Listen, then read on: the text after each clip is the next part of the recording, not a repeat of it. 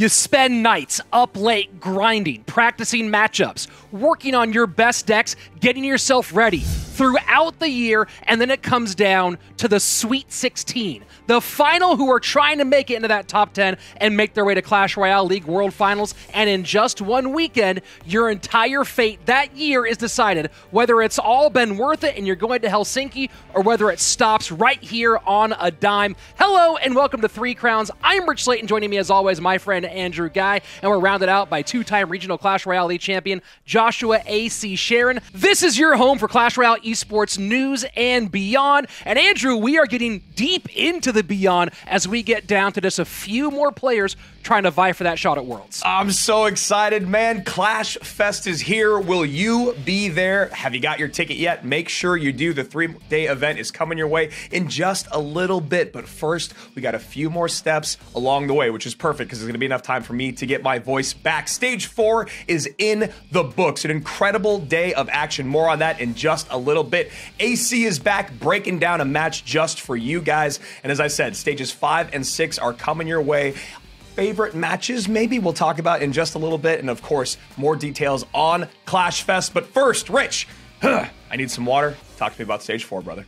Andrew, I know your voice is lost, probably because you were watching this weekend's top 32. It was scream after scream with crazy finishes the whole way through. A lot of that hoarse throat coming from Surgical Goblin's, continuous nail biter victories throughout this top 32 competition. Here he is in a make or break match against Keith. Winner goes on to the top 16. Loser's journey is over. And check out Keith's Magic Archer in the final 30 or so seconds of regulation time, getting an absolutely massive lead here against the GOAT. It looked like it was all sewn up, 30 HP left, but check out the magic here from Surgical Goblin. It's the low elixir for Keith. He cannot stop that golem from getting on tower, so now it's about a foot race. And check it out, the pop. That's only 5 HP at level 11 for that Goblin drill. Surgical Goblin moving on to your top 16. Here we go for the Nemesis, the longtime rival of the man we just mentioned. It's Morten up against Yuya. Morten in the lead in the final moments against Yuya, trying to get that damage on the right hand side and also stop that Royal Giant. The high mortar does stop it for a second, and a great placement by Morten, knowing he has to keep that lightning off tower the best he can and keep that Royal Giant away trying to slow it down with a snowball and doing just enough here to get that mortar down in time. Lightning not going to make enough room. The Royal Giant does not get the shot on tower. Morten going through three and one, and maybe, just maybe, We'll see if those two meet up later in this competition. On to the young star Adriel up against Hugo of France. And this was a wild finish. 10 seconds left. They are absolutely tight. And right now, it's the Magic Archer trying to get on that right hand side tower. The wall breakers end up distracting. But check out the cannon cart sneaking on by on the left hand side for Adriel. So Adriel trying to push on the right hand side. Hugo defends that brilliantly, gets ahead on the left. But the cannon cart, as it has done so many times before, slides right on by and takes that victory. GG, well played. We'll see if Adriel can continue that run on through our top 16. Those were some of the best moments from this last weekend, but of course, we want to get in a little bit deeper. So let's go to Joshua A.C. Sharon for an in depth look to our match of the week. Thanks, Rich. I am going to be attempting to break down why and how Vitor 75 was able to go 3 and 0, a perfect run in stage number 4. Here's the thing when you are going against pros that are very well known, you have your opponents set in front of you Pandora, Air Surfer, Adriel. All of them play a different way, all of them are willing to snipe, anti snipe, counter snipe. Uh, you know, if they think one deck is going to uh, be able to have a lot of success against all your decks, then they are certainly going to use that in their arsenal. You have to be out thinking, you have to be outplaying, you have to know that, you know, you're going to have to switch it up. You can't stick with what has got you there.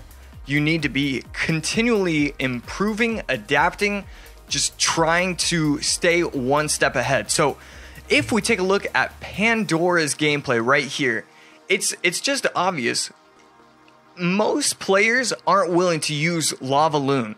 And that's the difference between Vitor and somebody who goes, you know, three and one or loses their first game in the stage. So right here, we see the Inferno Dragon able to snipe the Golem. Skeleton Dragon's able to clean up. The Mighty Miner placed just in front. And that's the thing. He's going to be using Lava Loon while most players are going to be using, you know, hog EQ perhaps, or, you know, royal hogs, and it's going to put them in precarious situations. And so that's why I really like Vitor's early run. The first set of the day, he's going to be using Lava Loon. Nobody else is willing to do that. I just love this opening start from him, and that's why he goes 1 and 0 to start this. The lightning comes down, Loon still gets the death damage. Fireball is going to come down shortly. We see the Mighty Miner to protect. I thought the Mighty Miner uh, wasn't going to protect the tower from getting the splash damage from the Skeleton King, but that's not the case. Gets game number one. Set number two, Air Surfer versus Vitor. Game number three. This is the difference. You use the quick cycle, you have the Dark Prince instead of the Giant Skeleton, and that's going to be what wins him this set. You have to be or continuing to make sure that you are using the best decks in the meta. So, you know, game number one, game number two, those are very important, but game number three is when you have to make sure that your decks are going to match up well. And it really is as simple as one player has Dark Prince, one player has Giant Skeleton. And so we see 35 seconds left. We see the attempt, the double cannon cart from Air Surfer. The opposing cannon cart on Vitor's side does more than enough. Takes out one of the cannon carts, takes out some of the uh, of the remaining health of the drill, and it's able to clean up enough so that way he was able to get the win eventually. Set number three, this is when it all counts. You need to make sure that you are playing your best. You don't want to go 2 and 0, then 2 1, 2 2, 2 3.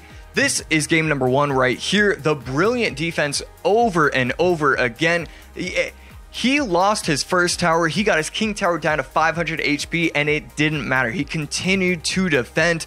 And right here, game number one, this is why he was able to go 3 and 0. He uses a quick cycle Royal Hogs version. He doesn't use the Royal Hogs version with Mirror. He doesn't use Hog EQ. He sticks with the Royal Hogs EQ, and I loved that from him. Is it was so shocking to see this version of the deck, and I mean Adriel just couldn't break through. It was it was sick. He just never had that opportunity to uh, to be able to take that third crown. This is game number two. Everything on the line. He, he, he just wants to get a clean set. He, he doesn't want to have to get it to game three. He's he's been getting to game number three, and that's just not what you want. The stress levels are too high, and Vitor is able to win with the RG Fireball. And again, it's the adaptation from Vitor. Earlier on in his second set against Air Surfer, he uses RG Lightning to try and catch the Inferno Tower, but in this set, he uses the RG Fireball because he believes that this version is going to be better against Adriel. You just have to be switching things up, and that's what he was able to do. That's why he went 3 0, and that's why Vitor moved on to stage number 5. That's going to be all from me. I'm going to give it back to you, Andrew. That's right, AC. Great match breakdown, by the way, brother. Five and six, those are the final two stages for 10 golden tickets to be given away. First day, Saturday, easy money, right? Same thing we did last weekend, except, oh yeah, only half as many players are remaining. Then the next day, less than 24 hours, our last chance qualifier. The eight players from our 16 that did not make it through in stage five will be seated into a single elimination bracket. One last chance, one last opportunity opportunity to get those final two golden tickets. We're giving out eight on Saturday, two on Sunday. That gets us to 16 for World Finals. Rich, Josh, you guys talked a lot about great matches we've seen, a lot of great matches that we might see is a conversation that I want to have now. Rich, you mentioned it before, your top two players, Serge and Morten. That's what I want. I think that's what everyone wants. I want a 2019 rematch. I don't know if it's Saturday. I don't know if it's Sunday. I don't know if it's at World Finals, but that is the matchup that I must see before this season is over. What are you guys thinking? Well, I mean, first of all, who doesn't want to see that one? Let's let's just box that one up. That should be the answer for every person who's ever watched Clash Royale, right? You want to see Morten and Surge, uh, but if you go a little bit deeper on the depth chart, I really want to see Air Surfer and KK in a matchup. You're talking about two guys who are fairly similar in terms of their position in their national Clash Royale scene, right? You have two guys who are both longtime veterans, both have at one time been the best with their respective decks in the world. They're both completely, they're both experienced, they're both talented. You look at kind of the track they've taken, very similar. I think that's one of the best matchups on paper outside of the big marquee matchup between two guys who've been around for a long time and both deserve to be at World Finals. Love it. KK and Air Surfer. AC, what do you got? Uh, look, I have to go with Coffer, aka Faust. Uh, I have to go with Faust and Doom. Uh, I, I, I love the synergy between those two players. Lava versus Loon, Loon versus Lava, Air Assault between the two players. How do they want to attack it? Do they want to go with their strengths? Do they want to go with the counter decks? They know all about what's going to you know, what the best response is when, you know, Inferno Tower isn't a card available, when there's no Fireball, when there's only Lightning, when there's no arrows. And that kind of thought process, that mindset between the two players, I think there's a lot of potential for some incredible games. And I think both of them kind of want to set themselves up where they say they're the best in the game when it comes to air. And I think that could set up some uh, some crazy matches. Hey, you love to hear it, man. So we got two longtime vets and then two uh, up and comers, if you will. But Rich, what is this all for? What? Why are we talking about this? Well, because they will hopefully be making their way to Clash Fest, which is part of our Clash Royale League World Finals in Helsinki from September 23rd to 25th. It's a full Clash universe coming together Clash of Clans, Clash Royale, all in one place. You can, of course, be a part of it. Go ahead and check out all those links for more information on it as well. Hopefully, we'll see you there in Helsinki, Finland. That's right. And those links, esports.clashroyale.com. Guys, if you haven't been checking out the site all year long, what have you been doing? Subscribe to this channel here, turn on notifications. You just heard back to back action this weekend. And of course, a three day World Finals event where over a million dollars just in Clash Royale is going to be given away. Go follow Esports Royale EN on Twitter. You can give the three of us a follow as well. But gotta go check your boxes, guys. You don't want to miss any action as there's only a few more days of CRL 2022.